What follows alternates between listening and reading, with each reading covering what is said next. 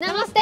आज जापानी street food खाने वाले हैं। जापान में स्ट्रीट फ़ूड बहुत कम मिलता है। अगर खाना हो तो यहाँ असाक्सा आना बेस्ट है। यहाँ की फ़ेमस मिठाई। की मिल गया है।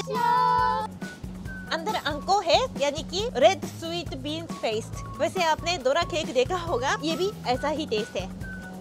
वैसे आज तो बहुत ठंड लग रही है। कुछ गर्म पीना है। ओहो मिल गए अमाजाके। अमाजाके का मतलब है मीठा शराब। लेकिन इसमें अल्कोहल सच में तो नहीं है। उबरते उबरते बाहर निकल जाता है।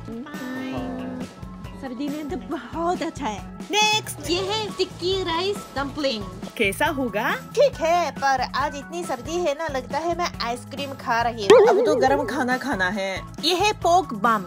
देखो कितना बड़ा है और गर्मा गर्म। अब मैं खुश हूँ।